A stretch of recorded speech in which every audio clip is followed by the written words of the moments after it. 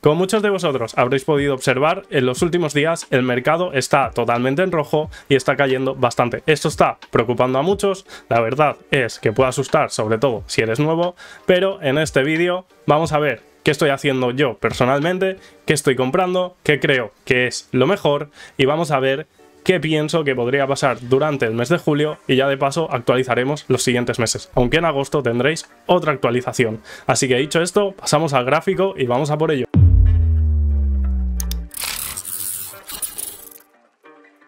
Ya estamos aquí en la pantalla del ordenador. Estamos en tradingview.com, después cambiaremos a Dextool para ver algunas altcoins también. Y nada, como siempre vamos a empezar por Bitcoin, ya que bajo mi punto de vista Bitcoin es el que marca un poco la tendencia de, lo que puede pasar en el mercado. Entonces, em, todo el mundo tiene un poquito de miedo, ¿vale? Porque el mercado al final, si lo ponemos en diario, pues llevamos, vamos a ponerlo en semanal, que se verá más claro. Es una, dos, tres, cuatro, cuatro semanas seguidas de caída, ¿vale? Que es un mes, básicamente. Y ha caído un 21% el precio. A mí realmente es una cosa que no me asusta, porque eh, al final, a nivel fundamental, estamos súper súper, súper top, en el sentido de que, bueno, se han aprobado todos los ETFs, ha batido máximos sin, sin que se haga publicidad de Bitcoin a nivel masas, es decir, que muchos retail todavía no han entrado, ha batido máximos sin, sin que el retail se enterase. Y al final lo que tenemos que ver también es que, ostras, desde noviembre la subida ha sido súper parabólica y súper bestia. Realmente Bitcoin pues nos ha subido un 373% y también tenemos que pensar que a más alta es la capitalización del mercado, más difícil es que tengas subidas bruscas. Entonces, como muchos de vosotros sabréis, realmente la acción sana del precio siempre ha de ser así. Y si nos fijamos en esta gráfica, estamos muy lejos de hacer eso. Hemos hecho esto y hemos hecho esto. Con lo cual, tendría que venir un poco, yo creo, a corregir para eh, que el precio pueda subir sano. ¿Vale? Entonces, eh, fundamentalmente, como hemos dicho, pues estamos en la antesala de algo bastante, bastante gordo, teóricamente, ¿vale? Sí que es verdad que lo de siempre, resultados pasados no aseguran resultados futuros, pero bueno, eh, yo sigo confiando mucho en las criptos, sobre todo en Bitcoin, que por cierto subí el, miércoles un vídeo sobre, sobre Bitcoin explicando sus bondades. Y es que Bitcoin al final es Bitcoin, ¿vale? Es, una cosa aparte del resto de altcoins. Y nada, también deciros que esto se está grabando el jueves día 4, con lo cual eh, esto lo vais a ver el domingo, así que puede que el precio esté un poquito desactualizado, pero no creo que la fluctuación sea muy bestia. Entonces lo que hemos ido viendo en este canal básicamente es que tenía que venir a rellenar estas zonas. Si veis, eh, esto estaba marcado ya desde hace semanas, Em, hasta aquí tenemos una corrección de un 21%, pero realmente Bitcoin respeta bastante el 50%. Lo ha respetado muchas veces. El 50% para mi gusto ya sería muy abajo, porque sería como venirse ya a estas zonas de aquí, de los 40.000, que realmente no es descartable, ya que todas estas zonas subió de manera muy muy parabólica y se deberían rellenar, pero preferiría que se quede aquí el precio. Eh, justo donde está ahora tendríamos que ver cómo reacciona, ¿vale? Esta puede ser una posible zona de reacción a la alza, ¿vale? Pero eh, yo no veo nada, nada descartable que venga a este piso de aquí. Al final, eh, aquí tenemos los, los 50.000, aquí tenemos un imbalance, ¿vale? Aquí tenemos otro imbalance entre estas dos mechas. Este ya está rellenado. Y luego tenemos aquí la última vela bajista antes de este impulso alcista, que es el que rompe máximos. Entonces, em, son velas que suele venir a rellenar. Entonces yo veo muy factible que el precio venga aquí, ¿vale? No descartaría para nada. Tampoco descarto que rebote aquí a la alza. Yo de momento lo que estoy haciendo en el caso de Bitcoin es esperar. Si llega a los 50.000 acumularé porque eh, sinceramente creo que, no es difícil que Bitcoin toque 80, 90 o 100.000. Eh, he visto bastante gente últimamente que, que se decanta por los 80. Eh, no vería raro, ¿vale? Teniendo en cuenta que ha tocado 74, que venga ahora a hacer unas fases de correcciones y luego revienta la alza hasta los 80. Puede ser. Puede ser. Entonces, para mí, eh, Bitcoin, eh, puede o quedarse aquí o venir a esta zona de aquí. Estaremos atentos. Y sinceramente, el verano en general lo espero bastante tranquilo. Normalmente los mercados en verano son un poquito más flojos, ya que eh, las grandes instituciones están cerradas, están de vacaciones. Entonces me espero lateralización o incluso correcciones este verano. Y ya septiembre, octubre, finales de año, ya sí que espero más la subida. Entonces tranquilos, tener guardada liquidez y ya está. Y vamos a ir viendo las, las siguientes oportunidades. Al final, si el precio de Bitcoin baja, ya sabéis que, las altcoins lo siguen y si Bitcoin sube, después van las altcoins detrás. Siempre recordemos que el ciclo suele ser Bitcoin, Ethereum y el resto de altcoins, ¿vale? La rotación de capital, con lo cual es importante ver Bitcoin porque es lo que nos da, digamos, la, señal, ¿no? De, de, dónde puede ir luego el precio. Entonces esto lo vamos a combinar con la dominancia de Bitcoin. Aquí tenemos en diario ya unos cuadrados marcados. Eh, esto lo marqué creo que ya hace semanas, ¿vale? Para indicar que lo más probable es que el precio bailase entre estas zonas. Efectivamente, de momento si, el mercado sigue bajando, eh, la dominancia puede bajar simplemente por salida de, capital general del mercado, aunque no creo, yo creo que más bien va, a lateralizar, va a seguir lateralizando entre estas zonas y cuando entre el boom fuerte para Bitcoin, será cuando Bitcoin reviente en dominancia y entonces eh, será buen momento para empezar a valorar eh, entrar ya en altcoins, porque al final, hasta que la dominancia de Bitcoin no suba, no hay suficiente capital dentro de Bitcoin para que pueda ir rotando a las altcoins. Ahora nos podemos posicionar en altcoins, de hecho, yo estoy haciendo con algunas, pero es un momento relativamente arriesgado. Entonces lo estoy haciendo con cabeza, me estoy guardando liquidez y si van dando oportunidades, pues voy entrando. Entonces, visto Bitcoin, visto la dominancia de Bitcoin, eh, si queréis echamos un ojo a Ethereum también. Ethereum es una de mis precios, la verdad, al final es la altcoin más grande del mercado. Justo ahora mismo está rellenando esta zonita de aquí, pero bueno, al final pues va a hacer un poco lo que haga Bitcoin. Si Bitcoin baja a rellenar la zona de los 50.000, que coincide con, con la vela y con un número psicológico, es que sinceramente tiene todos los puntos para irlo a rellenar. Si no aguanta el soporte de ahora, se nos va a los 50. Eh, pues no sería descartable volver a ver un Ethereum en 2500, que sinceramente eh, Ethereum en 2500 podría ser eh, una muy buena compra porque con Ethereum nos hacemos ya un por dos hasta máximo histórico, que yo creo que lo romperá y seguirá subiendo, más teniendo en cuenta que se han aprobado los CT. Y ahora vamos a lo que más os gusta a la mayoría de vosotros, que son las altcoins de, baja capitalización, ¿vale? Antes de pasar a las altcoins familia, necesito que me deis un segundito porque Coinex está patrocinando una vez más un vídeo del canal, en este caso este vídeo de actualización mensual. Y nada, está haciendo una oferta para aquellos que no estéis registrados, con la cual podéis obtener hasta 100 USDTs de manera gratuita. Para conseguirlos, básicamente lo que tenéis que hacer es registraros con el enlace que tendréis aquí abajo en la descripción. Y entonces, si por ejemplo ingresáis 40 USDTs a la plataforma, obtendréis un cupón de reembolso de 10 USDTs. Después, si hacéis transacciones en spot de 150 USDTs o más, obtendréis un cupón de 30 USDTs.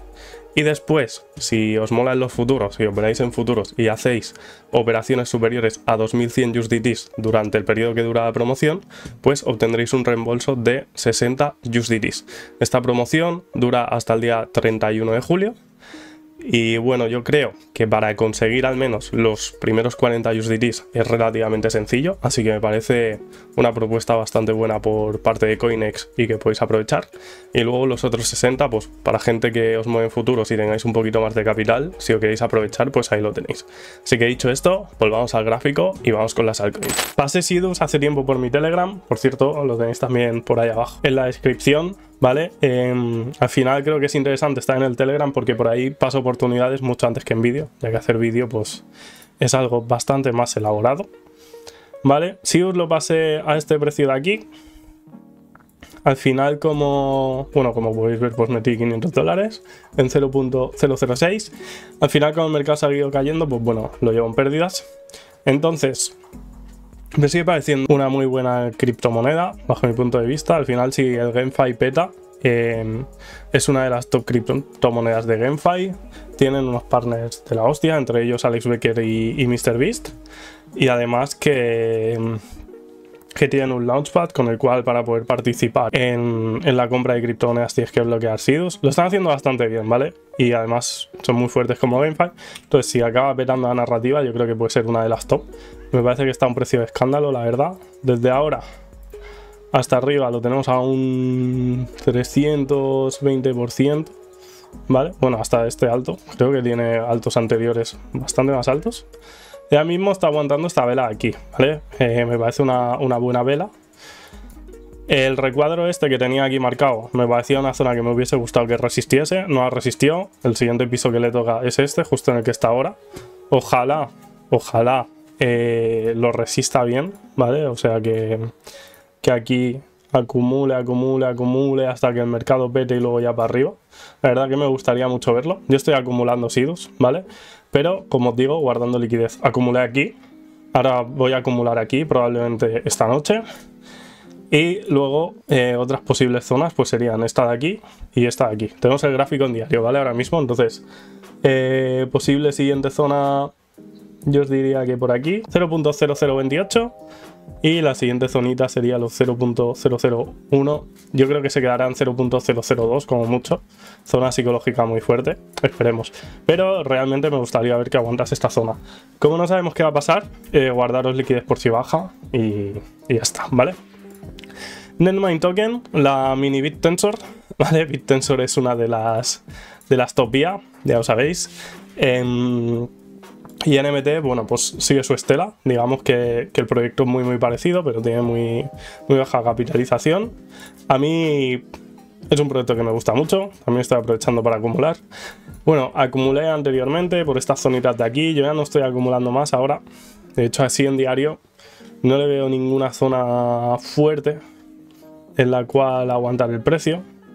Con lo cual, bueno, como no sé dónde se va a detener, eh, Ahora mismo diría que depende de dónde hayáis acumulado, puede ser buena oportunidad, pero en esta sí que tened cuidado porque no veo un sitio donde pueda hacer una, resistencia fuerte el precio, ¿vale? Quiero decir, si Bitcoin cae, puede seguir cayendo, pero me parece una, buena cripto para acumular. Mavia, la tenemos en 1,4.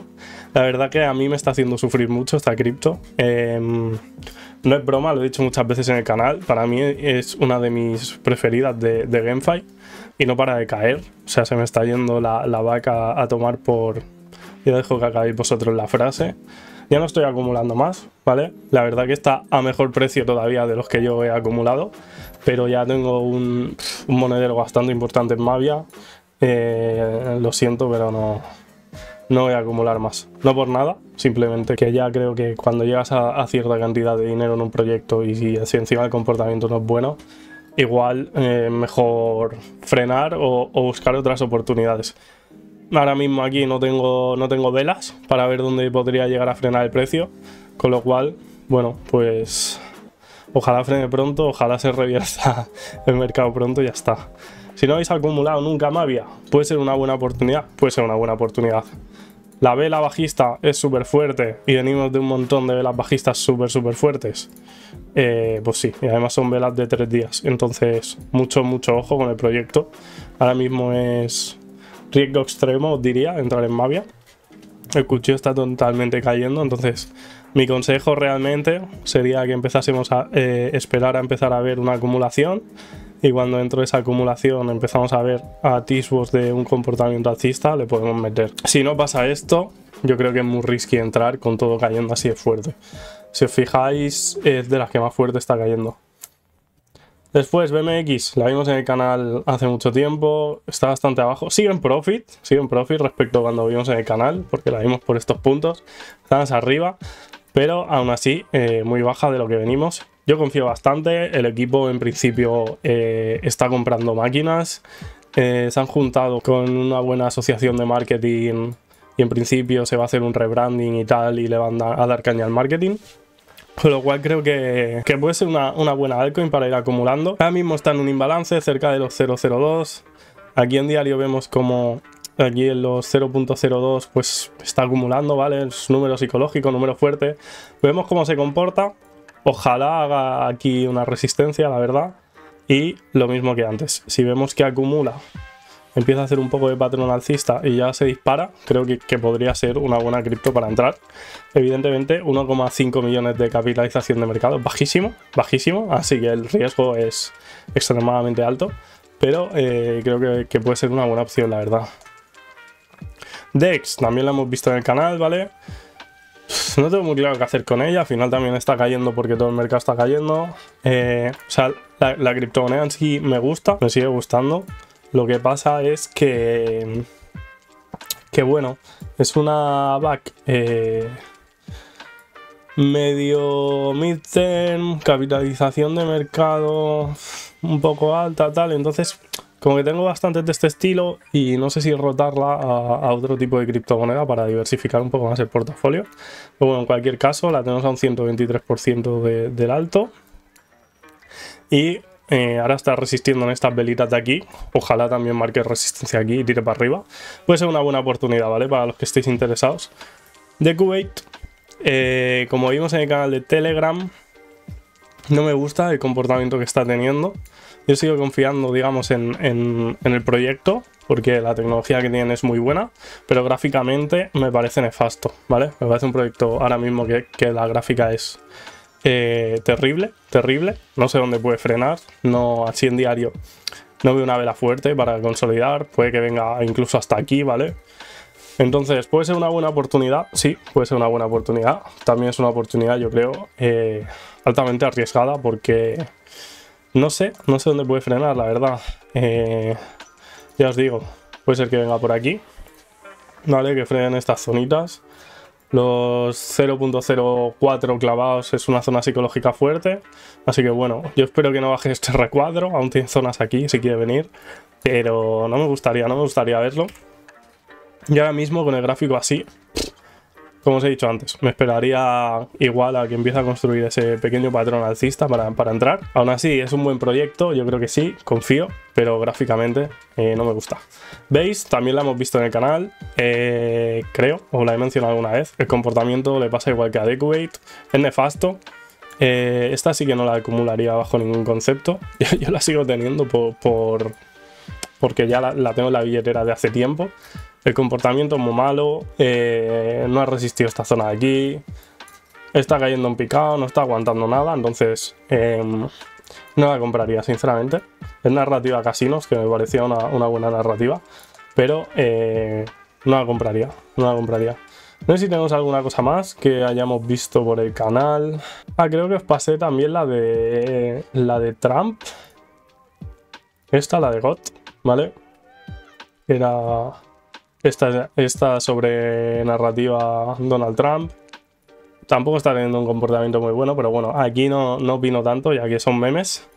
Eh, al final, para mí es una de las mejores memes de la narrativa elecciones de Estados Unidos, porque eh, están haciendo videojuegos que están relacionados y, coño, están relativamente currados. No hay, no hay muchas plataformas que, que se le ocurren tanto y las memes coins son menos, con lo cual, bueno, para el que quiera jugar un poco. Esto sí que es súper mega alto riesgo, pero ahí está y está a un precio muy bueno si a alguien le interesa. La tenéis a un 531% de la TH, o sea que si alguien está interesado, pues ahí la tenéis.